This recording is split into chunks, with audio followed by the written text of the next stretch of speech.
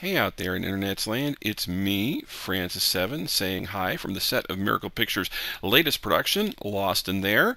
Many of you know that I wanted to make sort of a parody of uh, Lost in Space, well, as far back as 2004 when I started working on these sets, but we just never seem to have gotten around to actually doing it. So, this Saturday we're going to do it. Uh, I mean, shoot a movie, and not of it, but of Lost in There. So I'm hoping that you guys will all at least you know, who want to be in the movie would at least meet me halfway and um, at least show up.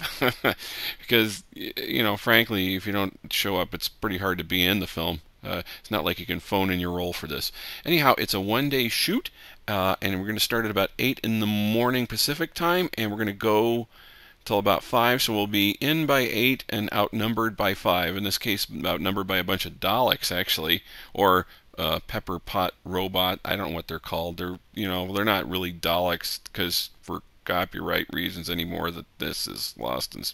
Uh, you know what? I keep digging my grave uh, bigger. Uh, come on, let me show you some of the new features. And and we've got some big things in this new production too. So this is just one of a, a, bunch of new sets we've built and uh, this is the interior of the space pod and the controls aren't quite done yet. I'm hoping to have those done today but basically it has a variety of things that, that let you light up things and here's like a little glowing light. Oh my giant sand footprints trial is up. That reminds me I probably should end this thing by showing you that. oh no! Will! Look out for that 50 foot arrow.